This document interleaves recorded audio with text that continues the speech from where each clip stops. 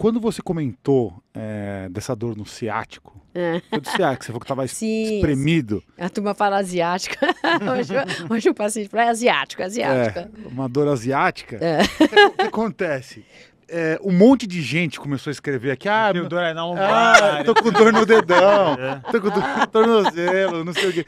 Assim, é, as pessoas querem entender, eu acho aqui. Ah, eu adoro falar. As adoro. pessoas querem colocar todas as dores, é, entender. vamos falar, você elege aí como eu você vou, tem, é, você, vou... o top 5 das dores na coluna aí que todo mundo. Qual que é que mais reclamam? Não, torcicolo.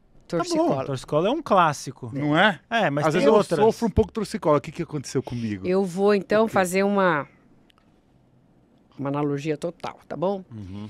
É, bom, pelo, pelo, pelo mecanismo musculoesquelético, são pressões, né?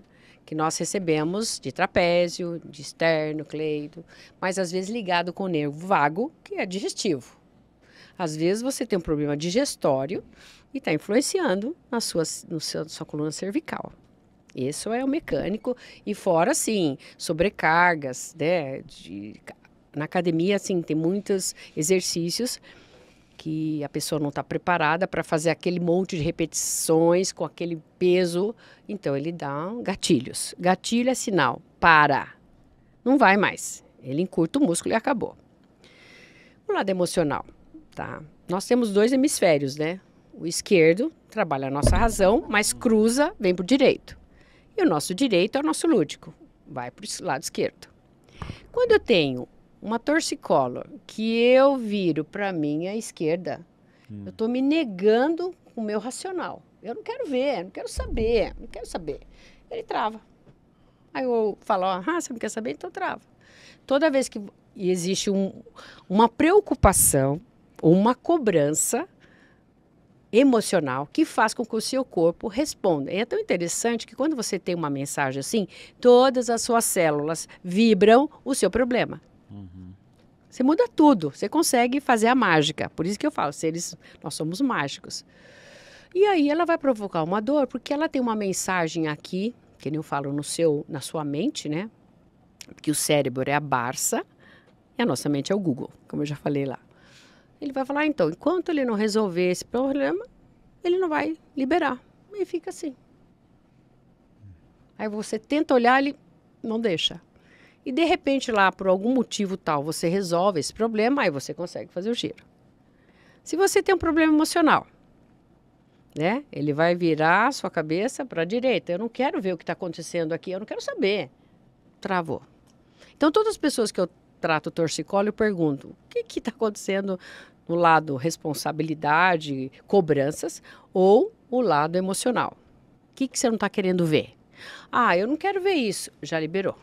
Eu já consigo acessar a parte muscular, liberar, né? Porque entra, é um conjunto, desde de, de do, do, hospital até o cóccix. É. Tá? Bom, descendo. Tudo que está relacionado. É, escápula, clavícula é peso. Quando você começa a carregar muito peso, muita responsabilidade, carregar muita gente, trava o ombro, estoura. Você não tem flexibilidade. Você está sempre com aquela peso. marca né, de peso. Uhum. Bom, descendo um pouquinho, a ciática é falta de mobilidade. Você precisa de um impulso para ir e você não pode resolver aquela situação. Por isso que às vezes você tem vontade de matar. Tipo, olha, vai lá e resolve isso aqui, ó. Ou então vai lá e paga. Não, não consigo, não consigo. Pronto. Travou. É, então, quadril é mobilidade. Como é que você, como é que você faz o gingado da vida? Né? Você tem que ter um gingado. Se você é inflexível, o corpo fica duro. Ele está respondendo a sua ordem. Joelho, joelho direito. Está né? Tá muito ligado também a esse lado de responsabilidade. Quando eu tenho um problema que eu preciso resolver é, a nível de responsabilidade e não faço, começa a doer. Você já viu dor de joelho? De repente o cara está uma semana com o joelho, depois. Nossa, sarou do nada. Ele resolveu o problema. Por quê? O joelho une os dois maiores ossos e essa articulação é muito versátil, né? Quando ela corre o risco de romper, ele trava. Se é o esquerdo, laços de amor. Qualquer laço que eu esteja ali para finalizar e eu não quero, mas eu não resolvo, o joelho vai E nisso vai para um desgaste de menisco, isso vai para uma artrose, até um rompimento de tendão. E o tornozelo é o, que vai sobrando o medo, né? Se eu não tenho espaço, toda vez que eu piso, eu piso em falso, até que rompe também. Então, esse é um geralzão do corpo a nível de emoção mais mobilidade. Geralmente, tudo que você vê lá bate com isso. Bate, né? Pessoas, Porque ah, é, é mesmo. Existem, assim, é, pesquisas, estudos, né? Uhum. A, essa área quântica, que é a área atual, ainda o pessoal ainda está né, desvendando todo esse, mas isso aí é mais certo que qualquer. Porque senão as pessoas não curavam. Né? Uhum. É, aproveitando aqui, hum. vamos ver se se você entende dessa, dessa enfermidade específica, que Sei. é a fibromialgia. Opa! Isso acontece direto, sempre vejo aqui no chat alguém sofrendo disso aqui. Olha, é. a fibro, eu, eu, trabalhei com um grupo em Tatuí de fibromiálgicos. A fibromialgia é a ausência de amor. Amor causa dor, não causa?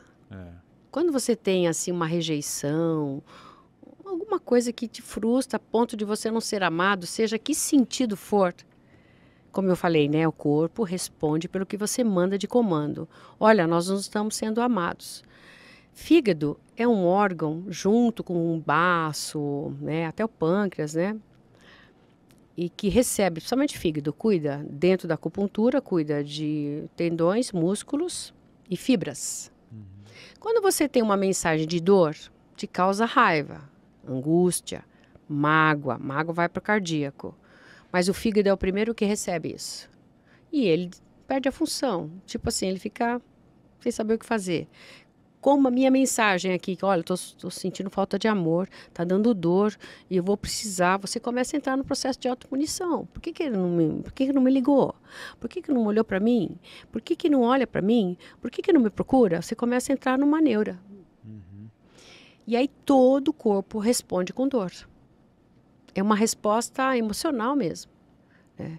Enquanto você vive, vivenciar aquela situação que falta o amor para você, seja do jeito que você tem esse amor, você tem dor.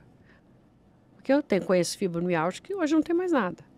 E viveu uma fase que eu não consegui encostar a mão, porque você é, não pode tocar o corpo. Porque se eu tenho dor, e a dor da falta de amor é uma dor diferente de, uma, de um trauma, de um corte, né? Que restaura e, e não, ela é constante, é, é intensa. É, quando você se sente amado, é, reposto esse amor que está causando a dor, a dor passa.